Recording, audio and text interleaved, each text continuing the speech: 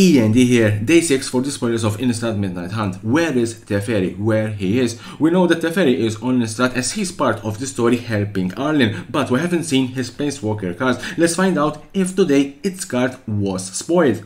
Let's start with Brief Respite. It's not Teferi, but it's a card depicting Teferi. 2 and 1 white, turn enchantment, enters the battlefield, exile target non-land permanent and opponent controls until it leaves the battlefield. Ritual of Hope for 1 and 1 white, it's an instant, creatures control get plus 1 plus 1 until end of turn, and has Coven. If you control 3 or more creatures with different powers, creatures control get plus 2 plus 1 until end of turn instead. Sunset Celebration for 1 and 1 white, it's a sorcery. If an opponent has more life than you, you gain 4 life. If an opponent controls more creatures than you, create 2 1 1 white human creature tokens. If an opponent has more cards in hand than you, draw a card. Finally, a draw spell for white.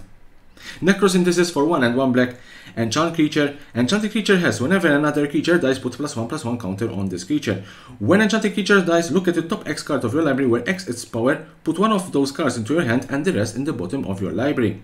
Grizzly Ghoul for 2, 1 black and 1 green, it's a 4-3, trample, enters the battlefield with a plus 1 plus 1 counter for each creature that died this turn. Root one Creeper, 1 green and 1 blue, set to 2-2, tap at 1 mana of any color, tap at 2 mana of any color, spend this mana only to cast spells from your graveyard, 1 green and 1 blue, tap, exile it, return target card with flashback you own in exile to your hand.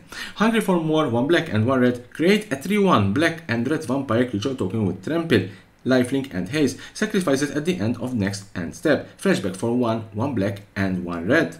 Ambitious Farmhand for 1 and 1 white. This is the first double face card. It's a 1 1 human peasant. Enters the battlefield, search your library for a basic playing card, put it into your hand. Coven for 1 and 2 white. Transform it. Activate only if you control 3 or more creatures with different powers. And transform into Consummate Cathar. etc. 3 with lifelink. Sacred Fire, 1 red and 1 white, it's an instant, it deals 2 damage to any target and you gain 2 life, flashback for 4, 1 red and 1 white. Basically, it's a Lightning Helix with flashback. Mystic Skull for 2, 1 tap, add 1 mana of any color, 5 tap, transform it, and then transform into Mystic Monstrosity. A 5, 6, lands you control have, tap, add 1 mana of any color. Rare cards, Briarbridge Tracker 2 and 1 green, a 2-3 with Vigilance, enters the battlefield, investigate. As long as you control a token, it gets plus 2 plus 0. Therefore, this enters the battlefield, you will create a clue artifact token, it gets plus 2 plus 0, so it's a 4-3, unless you sacrifice that token to draw a card or you have more tokens. Grafted Identity 2 and 2 blue, it's an enchantment aura. As an additional cost to cast the spell, sacrifice a creature, enchant creature, you control enchanted creature. Enchanted creature get plus 1 plus 1. Old Stickfingers X, 1 black and 1 green. When you cast the spell, reveal cards from the top of your library until you reveal X creature cards. Put all creature cards revealed this way into your graveyard and the rest on the bottom of your library. Its power and toughness are equal to the number of creature cards in your graveyard. Dire Rampage 1, 1 red and 1 green. Destroy target artifact, enchantment or land. If a land was destroyed this way, its controller may search the library for up to 2 basic lands, put them on the battlefield tapped.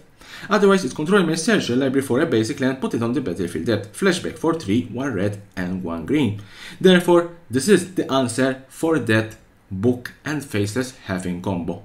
Adeline Resplendent Cathar for 1 and 2 white. Asterix for Vigilance. Its power is equal to the number of creatures you control. Whenever you attack, for each opponent, create a 1-1 white human creature token tapped and attacking that player or a planeswalker they control.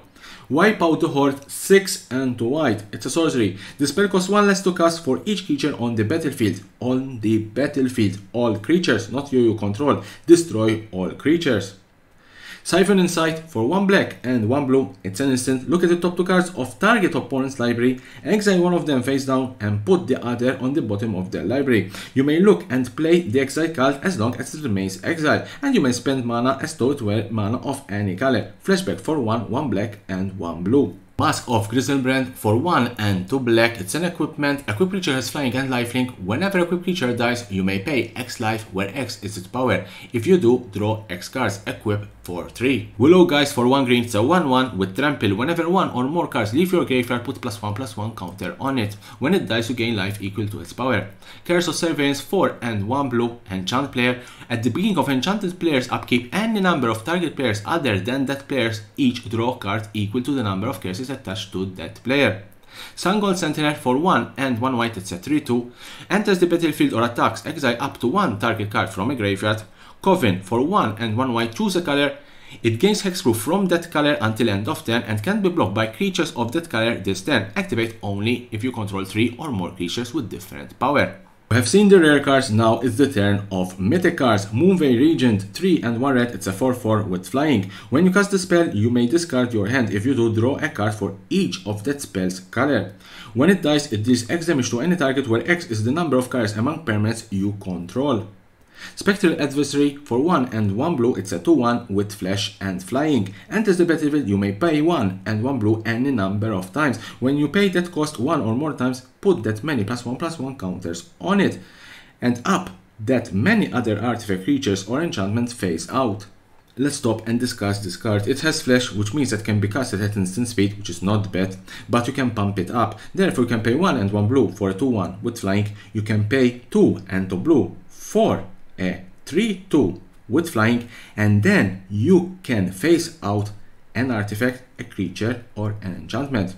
You can pay 3 and 3 blue, you will get a 4-3 and you will phase out 2 artifact, creatures or enchantment and so on and so on. I think this is quite a good card.